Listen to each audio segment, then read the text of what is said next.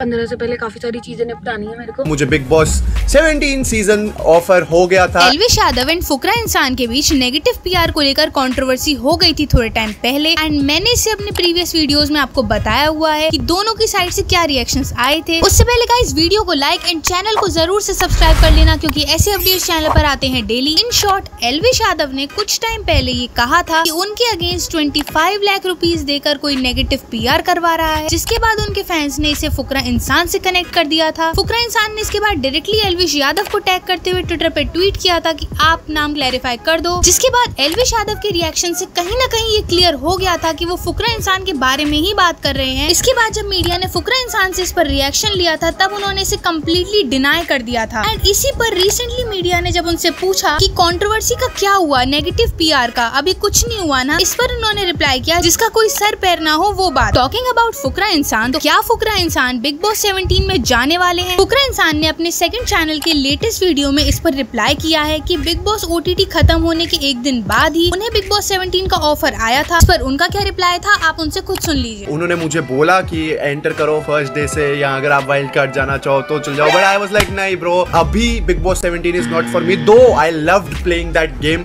I loved it, loved it, loved it. Talking about Big Boss 17 तो कीर्ति मेहरा की side से भी 15 अक्टूबर को हाईलाइट करते हुए कुछ हिंट्स दिए गए हैं। एंड 15 अक्टूबर से बिग बॉस का सीज़न 17 स्टार्ट होने वाला है। एंड इस पर उन्होंने अपने रिसेंट ब्लॉग में भी कुछ कहा है आप देखिए। अपना अपना सोचना चाहिए ना। हाँ। पक्की बात है। पंद्रह तारीख के बाद से भी अपना अपना ही सोचेंगे सब। अब वो बिग बॉस जा रही है। या नहीं या फिर कोई और सरप्राइज़ है, ये तो 15 अक्टूबर को क्लियर हो ही जाएगा। नोज़ डे ने भी ये ट्वीट किया था कि बिग बॉस 17 का ऑफ़र आया है, जाना चाहिए या नहीं। नेक्स्ट हम बात करने वाले हैं मनीषा रानी के बारे में तो उनका न्यू सॉन्ग आने वाला है पार्थ के साथ, और इसके बारे में उन्होंने अपनी इंस्टा स्टोरी पर ये फ़ोटो शेयर किया था। रव झा ने अपने इंस्टाग्राम पर ये स्टोरी शेयर की थी एंड लिखा था, कुछ मज़ेदार आने वाला है यूट्यूब पर। I support panda gang and next story में उन्होंने लिखा था आई सपोर्ट एलविश आर्मी तो ये एलविश यादव वर्सेस फुकरा इंसान के ऊपर हो सकता है। इस पर आपका कोई ओपिनियन है तो कमेंट करके ज़रूर बताना।